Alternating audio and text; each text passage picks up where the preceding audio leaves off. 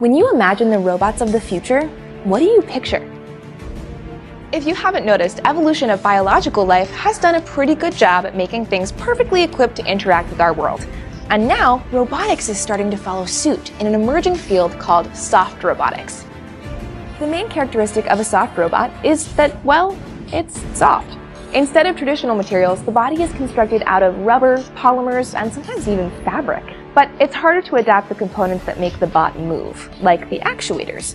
These have to be radically rethought for soft bots, since traditional robots tend to use electric motors that are difficult to downsize. So instead, some use hydraulics or pneumatics to push air or water through the soft body parts in a way that creates predictable motion.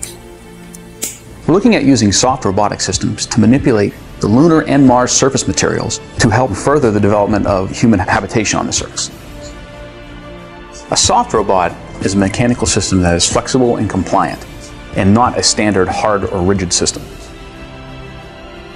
Soft robotics is a program that we've been working on in the lab for a little bit over a year now. And what we've done is to basically look to nature for inspiration, and specifically organisms like octopi and, and squid, soft organisms, with the idea that these robots would have advantages in terms of manipulation, maneuverability, fabrication, cost over the traditional hard robots that most people are familiar with. One of the remarkable things that they can do is they can actually change their color and their appearance, and, and they do this to signal one another to blend in with their environment. We again drew on these organisms as inspiration and decided that it was actually a pretty uh, logical evolution to try and include some of these aspects in our robots.